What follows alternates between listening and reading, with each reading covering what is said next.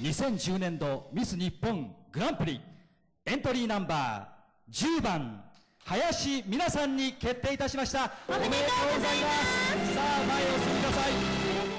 今日でコンテストが終わってしまうと思うと本当に悲しく寂しく思いますが今日が私の新たなスタート地点だと思ってこれから1年間精一杯務めさせていただきたいと思っておりますどうぞよろしくお願いいたします。2010年度ミス日本コンテストグランプリになりました林美奈と申します。えっと、座右の銘は保温社得です。今回ミス日本コンテストを通していろいろな方から本当に多くのものをいただきました。